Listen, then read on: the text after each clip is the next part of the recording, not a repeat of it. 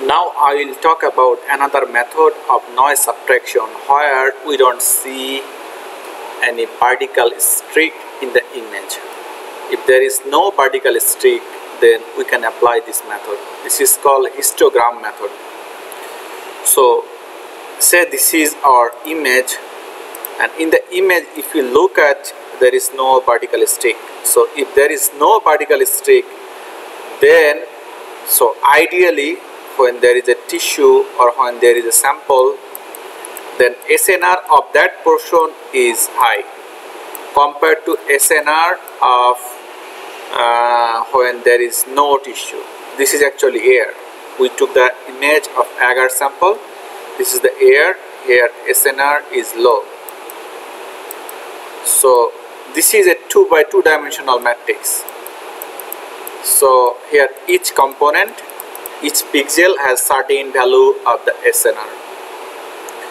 Now if we take all the SNR value and plot the histogram.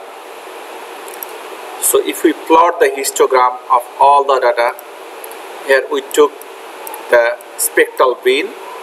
So total bin number is around 200 and uh, this is the intensity of the data this is a normal scale.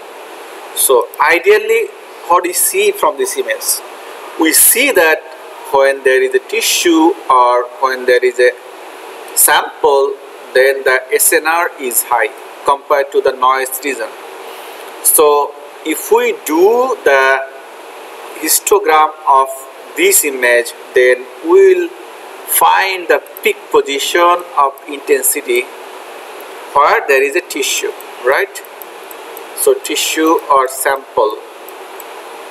Tissue or sample then we will find the highest intensity value. And the low region is the low intensity value like the noise noisy value. Then one way we can deal with this histogram method is that we can determine the peak and we can find the half point of the peak and we can use this peak information as well as this uh, information to calculate the noise of the data. One thing to notice is that in this method we are actually subtracting the noise conservatively. Why I am saying that we are subtracting conservatively because uh, in the previous two method we are subtracting a line from uh, all the data. So it may happen that after subtraction of the noise for some of the pixel the value might go to negative. So SNR value might go to negative. So if SNR value goes to negative and if we use that data to feed in the calculation of the attenuation coefficient. Our attenuation coefficient will be wrong. So that's not a good idea.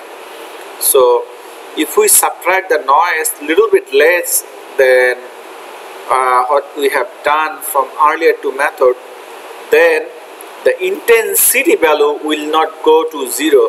Then from using that intensity if we calculate the attenuation coefficient our value will be accurate than other two method of subtraction of noise. So to do that what I did is uh, uh, say we have the intensity data then we calculated the spectral uh, histogram.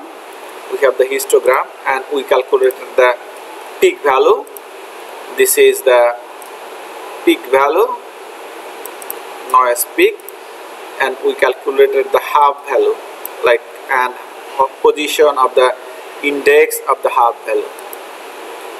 So we have two information. One is the peak value this peak value and we have the uh, what is at the half point what is the value of that if you look at the peak value should be around uh, 5000 on this data.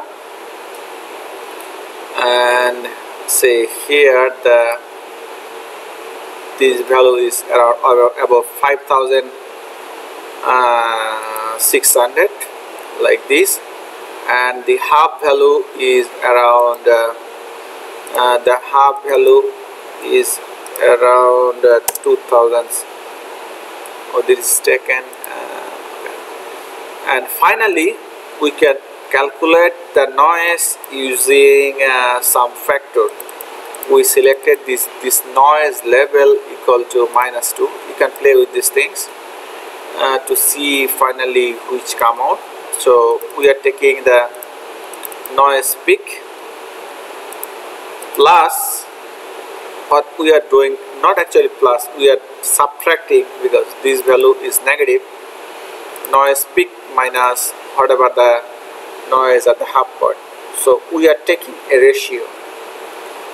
And we are doing this frame wise so for one frame we are calculating a noise and that's same for all the lines for all the pixels so we are subtracting one fixed noise value for all the noise for all the data.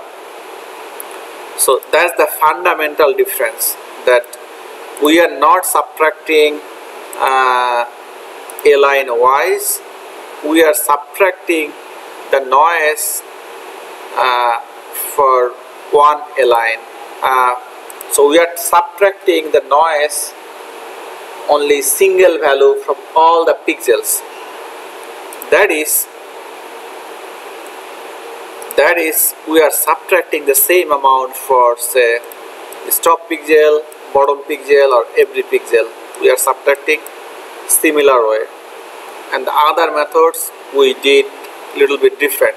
We subtracted say depth profile wise it was different. So this is another way to do that. So this method only you can apply to those images where there is no vertical streak and uh, intensity is uh, almost almost homogeneous. Uh, you don't need to be homogeneous but uh, you are actually subtracting the same amount from all the data points